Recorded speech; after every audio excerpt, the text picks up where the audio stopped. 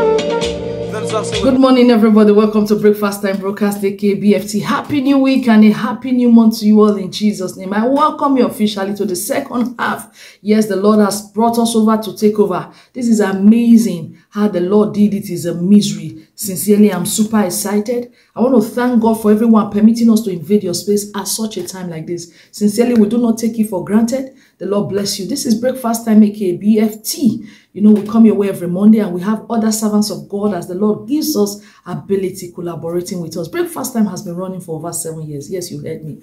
Over seven years. The Lord is helping us. Gradually, we are coming up and the Lord in his mercy will do the promotion by himself. Hallelujah. And I want to encourage you, please, if you've not subscribed to our video, our, our page, please do so. Do subscribe to our YouTube page. Thumb up when any message blesses you. Leave a word of prayer for us. You know, by so doing, you are telling YouTube, I like this video. And they help us to do the publicizing. And please, you can also share with friends. Tell someone to tell someone. And I tell you, the Lord has been faithful. I want to thank God for his consistency, for that grace given unto us, not to lose track, not to lose focus on the purpose for this channel. And I sincerely, I return all the praise to Him. I want to thank every of our breakfast family. You know, this is our reality. We are loved. Wherever we find ourselves, whatsoever the matter is, we are loved, we are valued, and we are special. And this is what we carry around. We are loved. Hallelujah. You know, anytime I, I, uh, it, it, it dawns on me, anytime I remember that I'm loved, oh, I feel on top of the world.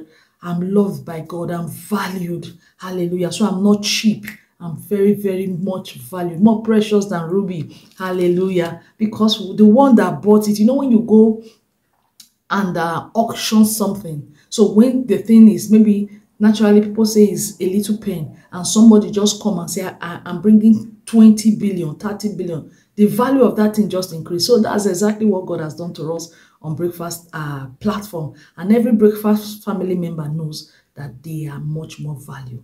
Hallelujah. Praise the Lord. I want to say a big thank you to our father who wrapped up the breakfast time broadcast for us last week, uh, Monday.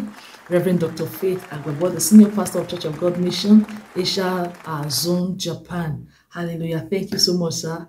God bless you, sir. We love you. Thank you so much. And uh, Pastor Henry Matthew. Wow, God bless you, sir. The senior pastor of Emblem of God Fire Ministries, International Victoria Gasteiz, Spain. Wow, God bless you, sir. He wrapped up the Bible study. It was an amazing one. I tell you, the Bible study, I think, is one of our longest Bible study. Almost to three, we're still in the Zoom room. Questions were coming up, and he was so patient to give everyone an answer. The Lord replenish you in Jesus' name. I remember one of our guests said, It was the time. God honor you, sirs. God bless you in Jesus' name. My name is Victory Adesuwa Igori Oghagbon. And by the short mercy of the Most High God, I am your humble host.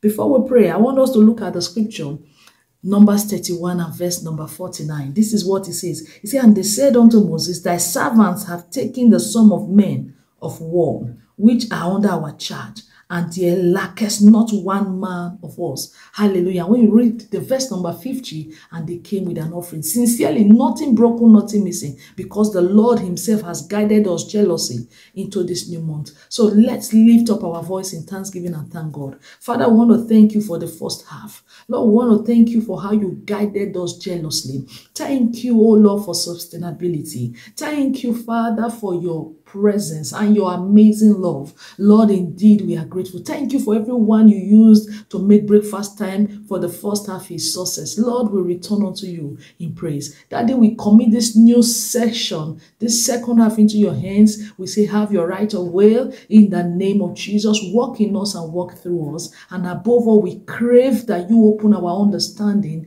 oh God, unto the scriptures and help us to live the scripture practically in the name of Jesus. Jesus. Lord, we pray for the ears of the land and the tongue of the land. Help us to see, oh God, and help us to hear you clearly. These are many more. We pray with thanksgiving in Jesus' great and glorious name. Amen. Yes, the last month we talked about true riches. I remember a few months, a uh, few weeks to that wrap up, the Lord dropped this word in my heart. Genesis chapter number one, because of our time, because it's rarely spent.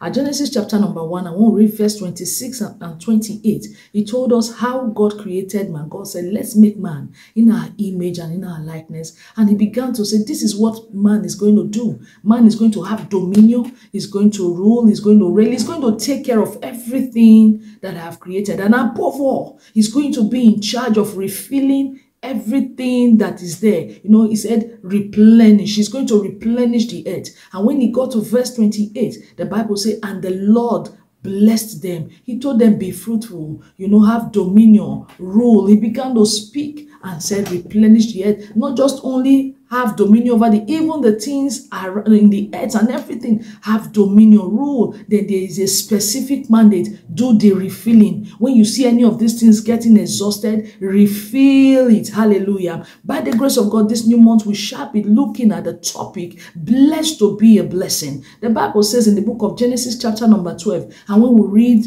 in verse number 3 the bible makes us to uh, understand something Abraham, through you, the families of the earth shall be blessed. I just picked the B part. Through you, the families of the earth shall be blessed. So blessed to be a blessing. God from the beginning has established a system, a system where mankind cannot, will not only dominate, but has been given the responsibility to replenish. Whatsoever is exhausted whatsoever is supposed to be there that is not there and you have you you are there you can do it then do it. Hallelujah. Replenish it. Praise master jesus. Hallelujah. Today by the grace of god i work in the market sector and i see at times people come to me and said ah ah vicky please do you do you people in your shop do you have this? I say he's there in the shop. He said no i've gone there. There is a space you know, that's not my job. I have there, there are other people employed to go around the shop and begin to look at things that are reducing in numbers so that they can replenish it. They can refill it. Let's use the word refill it. And what is the word replenish? Replenish means to refill something that has been exhausted. You know, something that is has been exhausted, maybe due to use or it was not there for one reason or the other. And remember the Bible told us in Ephesians 2.10, it said, he said here, we are his workmanship created in Christ Jesus for good work, which God afore prepared that we should walk in it. In other words, replenishing what I want to say tonight, replenishing business is God's own business and it is a good one. Hallelujah. It is a good one. Today, there is so many things to replenish in our society. There's so many things to replenish in the house of God. There's so many things to be replenished in the family. But not that God has not made room for it, but the people who are supposed to replenish it probably have neglected the business. You know, he said, replenish the earth. There is a scripture I saw in the book of Psalm chapter 17 and verse number 14. He said, from men by thy hands. Another version say, men, from men, oh God, are thy hands. Hallelujah. And he said, from men of this world, whose portion is in this life and whose belly thou fillest with treasure. They are satisfied with children and leave the rest substance for their babes, for their babes. Hallelujah. So the Lord has filled men, not of another word, of this world. He has filled our belly with treasures. And what why did he fill it? He didn't fill it for our own personal use only, but to be able to, to replenish that that aspect of life where things are not working well. You know, the, the, the scripture say he, it is God that fill the, the bellies of men. And he said, of this world, men of the world, whose portion, men, there are men of the world. So God is not going to bring spirits to replenish the, the earth because the earth is not the spirit jurisdiction. It is for mankind. We are here. That is why he gave us the authority. Praise Master Jesus. You remember the scripture I just read in Genesis chapter 12. And when you read verse 3b, he said, through you, the nations of the earth, the families of the earth shall be blessed. A blessed family produce a blessed church. And a blessed church produce a blessed society. A blessed society produce a blessed world. Hallelujah. So if every one of us is taking the business of God seriously, there will not be shortage. People will not you know, uh, many times in the shop, when a particular product is out, the space is empty for a while, the people swap for another for alternative. Hallelujah. So that is why we try not to allow things to run out of stock. That is the exactly what God has given to us. Today, by the grace of God, in this new month, we shall be discussing this wonderful topic at such a time like this, where men thank God's treasure even for their unborn generation. These treasures are not supposed to be tanked. They are supposed to flow through us to other people. So now men have begun to neglect the burdens in God, the burden of God. They neglect it. One of the burdens to replenish. Make sure it does not run out of stock. Today, many have, are out of stocks because self and greed are the orders of the day. You know, where the blessed are extorting the people they are supposed to replenish. Yes, it is a glaring picture in the society, in every fears of life, but God will want us to talk about it at such a time like this. Yes, to every man, to every man, there are treasures in him. There are treasures in her. So this is the season where we allow love to flow, where we allow peace, where we allow joy, where we allow the financial resources that God has given to us to flow to others. It's not to encourage laziness. It's not to encourage idleness, but it's to bring up the business of God. The, it's a replenish. Replenish. We see the society is so poor. By the grace of God in the Western world, I base in Europe. You know, you, you, you are walking around, the, uh, the, uh, going out, you see the white people, what do they do? Probably they have this television and they just bought a new one. Instead of them to pack it up and, and, and keep it in the garage, they put it in the street. Working and it's still very good. The, the, the, the, the old clothes and everything, what do they do? They leave it there for another person. What are they doing? They are replenishing. So that man that is supposed to go and buy his clothes and does not have money, instead of bothering over it, the neighbor has helped and has carried out God's assignment. And that's why you see the society is blessed. The society, irrespective, yet they have their, they still have a lot to do. But the society, you see it, I remember many years ago, some one man once told us that many, many, many years ago, far back 30, 40 years ago, that they don't sell second-hand car. They just give you the key. Do you want it? Okay, you can have it. Hallelujah. What are they doing? Replenishing the society. So by the grace of God, we are going to trust God for this new season. Yes, there is something new that needs to flow. Any of God's blessing that is dammed does not multiply.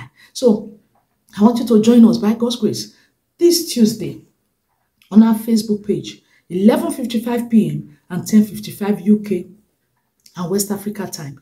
Join us for Bible study. We shall be digging deep and I trust God to help you and help me in Jesus Christ's name. So till I come your way, I this way, Please have a wonderful day. Shalom. Hallelujah.